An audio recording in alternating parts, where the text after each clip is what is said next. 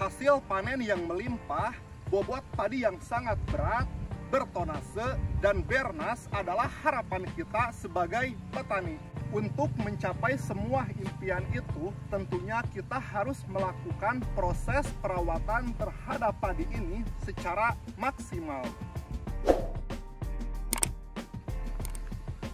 Di dalam video ini, saya akan membahas tentang macam-macam pupuk untuk pengisian bulir padi supaya bulir padi kita mendapatkan hasil yang maksimal, berbobot, bertonase. Nah, macam-macam pupuk apa yang digunakan untuk menjadikan padi kita makin berisi, makin berat, serta bertonase.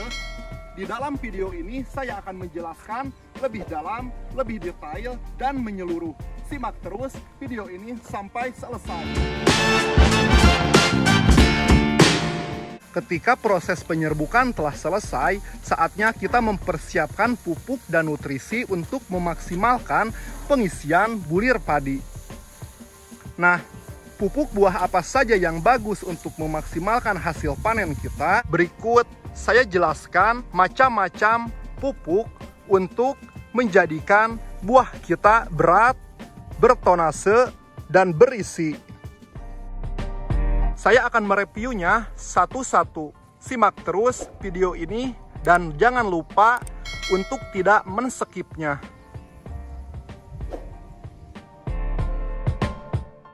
Yang pertama adalah pupuk MKP. Nah, ini adalah pupuk MKP atau monokalium fosfat yang saya sarankan dan rekomendasikan untuk menjadikan bulir atau buah padi kita semakin berisi, berat, dan berbobot. MKP memiliki unsur hara yang sangat bagus sekali dengan kalium dan fosfor yang sangat tinggi yang akan menjadikan buah padi kita sesuai yang kita harapkan.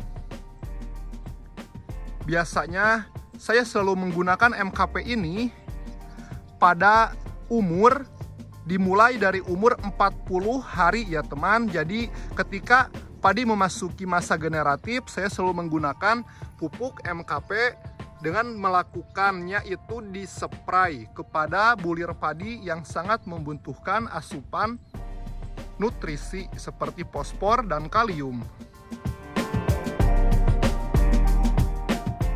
Yang kedua adalah pupuk KNO Nah, yang saya review ini adalah KNO 3 putih atau PN Pril ya teman.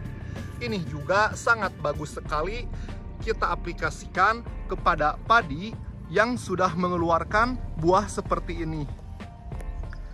Teman, pupuk KNO Pril memiliki banyak sekali keuntungan untuk tanaman padi kita ya. Bisa teman lihat sendiri kandungan unsur hara yang terdapat pada KNO ini adalah nitrogen 13%, sedangkan kalium untuk buahnya itu 45%. Ini adalah pupuk yang saya rekomendasikan jika teman mau melakukan atau menjadikan bulir padi kita berisi. Untuk yang ketiga, teman, saya menyarankan atau merekomendasikan pupuk ganda silbe. Pupuk ini sudah menjadi primadona sejak zaman dulu bagi petani karena dapat meningkatkan hasil gabah kita berat ya bertonase dan berisi juga. Ini adalah ganda silde. Ganda silde memiliki kandungan yaitu nitrogen 6%, fosfor 20%, dan kalium 30% pupuk yang sangat sempurna sekali jika teman ingin menjadikan bulir padi teman berbobot.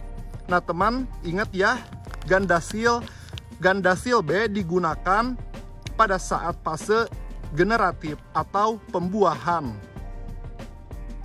Nah jadi teman bisa menggunakan gandasil atau MKP atau KNO pilih salah satu saja ya jangan digunakan dalam satu tangki itu macam-macam pupuk untuk pemacu buah. Nah, untuk dosis takaran dari Gandasil B, saya selalu menggunakannya 3 sendok makan pada saat penyepraian. Yang keempat adalah Purka Nah, ini adalah Pureka pupuk pembesar umbi dan buah ya teman. Nah, saya juga kadang selalu menggunakan Pureka ini untuk memperbesar buah padi. Selain memperbesar buah padi, Pureka juga bagus ya untuk e, melakukan pembesaran umbi. Ini adalah kalium cair yang menjadikan buah kita tambah besar, berbobot, serta bersih dan berisi. Nah, di sini dijelaskan ya untuk takaran per tangkinya. Teman ingat ya, pupuk yang memiliki unsur kalium dan fosfor yang sangat tinggi digunakan saat masa pembuahan atau di mana padi memasuki masa generatif.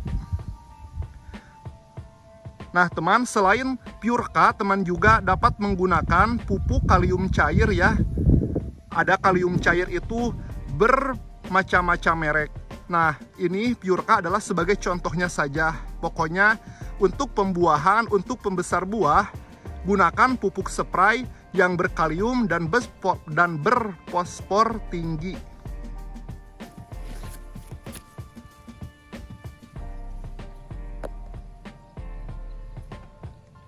Nah, teman, selanjutnya adalah the one and only ambition. Teman, ambition adalah zat aktivator tanaman yang dapat membantu proses penyerbukan dan menjadikan padi kita besar, berat, dan berisi. Ambition dapat digunakan di masa generatif dan vegetatif, tidak harus di masa pembuahan. Ini adalah zat aktivator ya teman untuk membantu pada tanaman, semua tanaman, baik padi maupun yang lainnya. Cara menggunakan ambition di saat padi masa generatif adalah dengan mencampurkannya dengan air dan memberikannya satu tutup botol untuk tangki berukuran 14 liter sampai 17 liter air ya teman. Nah saya juga sangat merekomendasikan menyarankan Ambition sebagai pupuk pelengkap untuk menjadikan buah padi kita semakin berbobot, berisi, dan bertonase seperti ini.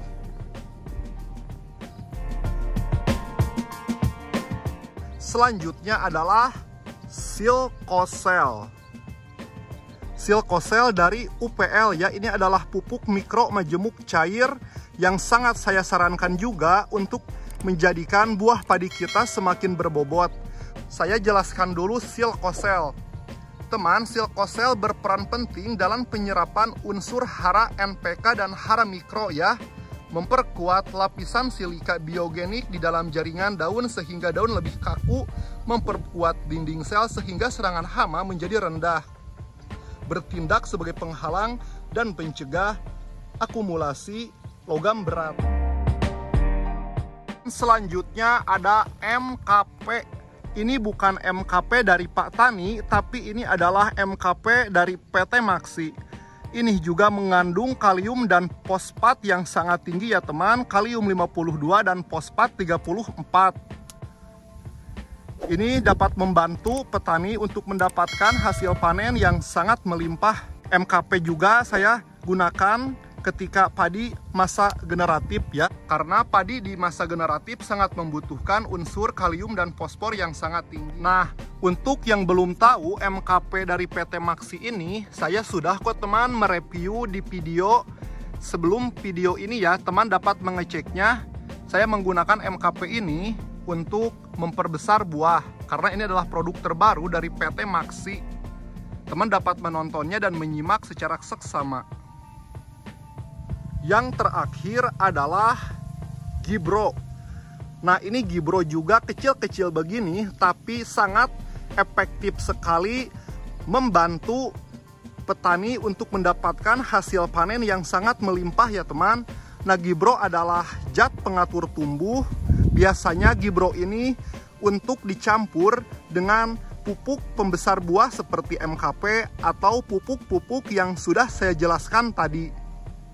Nah Gibro ini bagus sekali teman, harganya juga murah.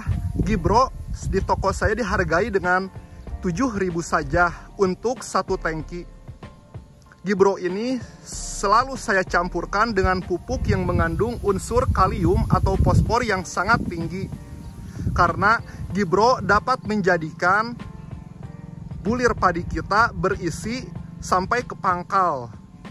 Nah, untuk satu tangki, teman dapat menggunakan satu saset Gibro ini ya. Saya sarankan campurkan juga dengan pupuk-pupuk yang sudah saya sebutkan tadi jangan dicampurkan semua, pilih satu pupuk yang mau dicampurkan dengan Gibro. Pupuk yang saya jelaskan adalah pupuk yang sangat bagus untuk memaksimalkan hasil panen kita, memacu pemberatan kepada buah padi. Teman dapat memilih salah satu pupuk yang saya jelaskan tadi. Menurut saya, semua pupuk yang saya jelaskan sangat bagus untuk diaplikasikan di lahan pesawahan teman bertumbuh semua.